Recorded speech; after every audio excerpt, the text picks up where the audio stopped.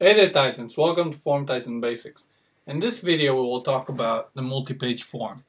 Let's dive right into it. Let's add our page break and throw it to the bottom of the page. We'll click the page break, we'll go to settings and we're going to add another page. I'll show you why this donkey is here in just a second. So we will throw some elements here. Let's say another address and text box. And save the form. Let's publish it. And we'll do next. This is our required field. And we can see that we have two pages. You can do as many as you like. And once you hit finish, then it will publish your form and we'll submit your form. Let's go back to our page break settings and see some some of the capabilities of, of the of the page break. so you can just skip validation, which means that if I do skip validations, then I'll go back to uh, my uh, to to the first page and do next. Then it will not block me from moving to the next page just like I did before. So we can do show progress indicator, which will give you a progress bar on the top of the page. You can see it's halfway up and you can customize the entire styles of the page break. So you can select here the pager, the line, the pager buttons, the header, the footer, and the progress indicator. So if I change the progress indicator, I can change the, the color of this to be black and the size and position I can say whatever I like. So that's that. Go back to our page break. And we can hide the finish button so you won't be able to submit from the from the progress bar if you want to have your own um, your own submit button. So if I'll throw a submit submit button over here, throw in my last page, then it will submit only from this. Go back to our settings, we'll click advanced, and here is our header, and this is why we have the donkey over there. Basically, you can add a header and footer to your page, and it will just follow um, whatever pages you're adding. Let's take it off, and we can see that it's gone. So that's the page header and footer. And if I'll add, if I'll add a footer, then you can see that it will be in the bottom of the page, whatever pages I'm adding. Let's clear that, save the form, go back to our settings, see some of uh, some more options here.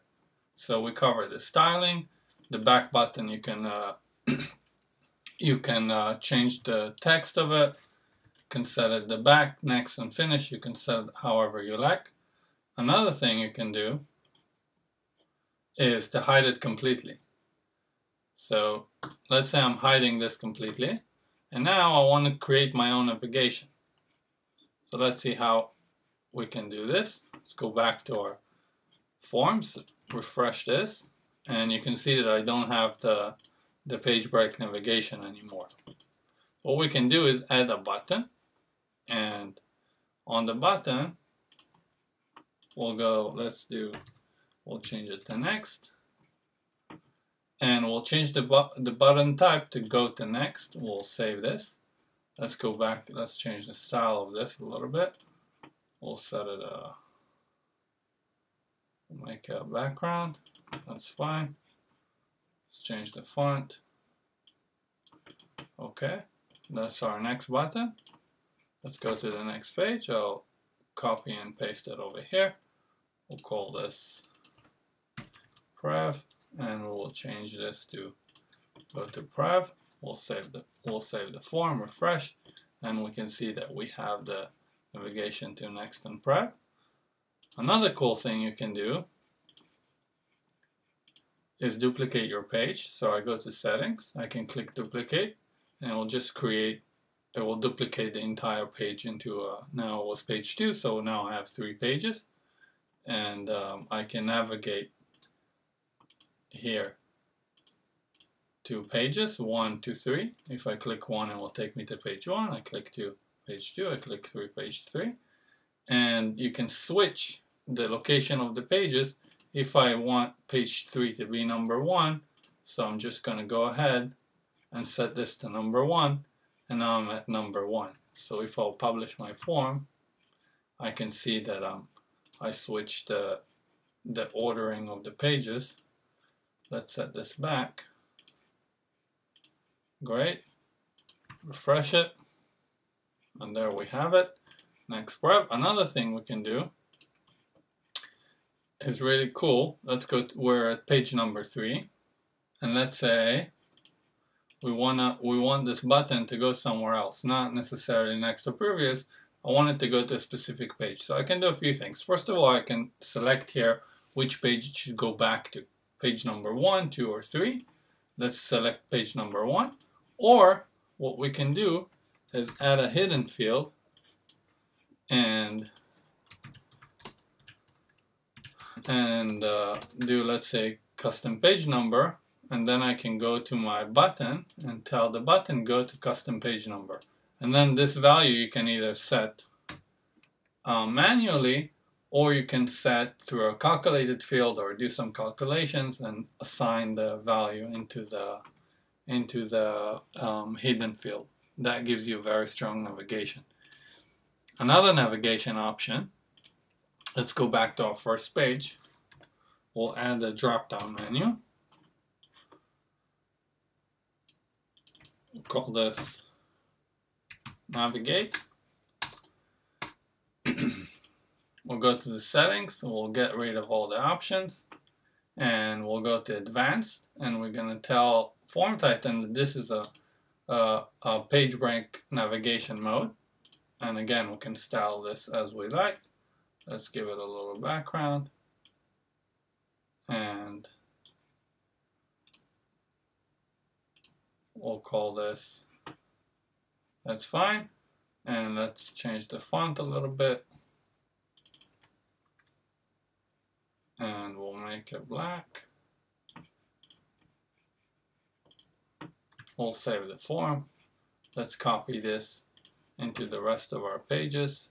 We'll put this over here.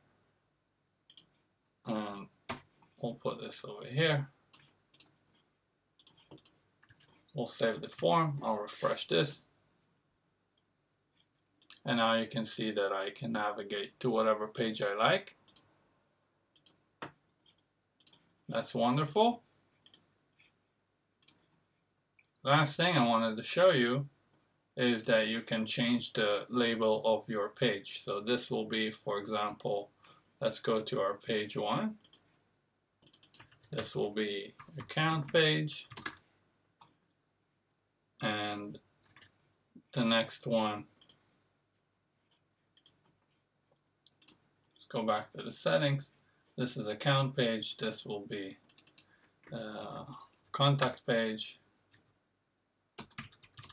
And our next page will be duplicate page.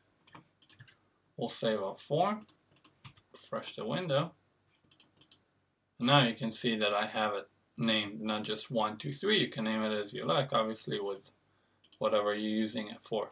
And this is how it's done. Have fun.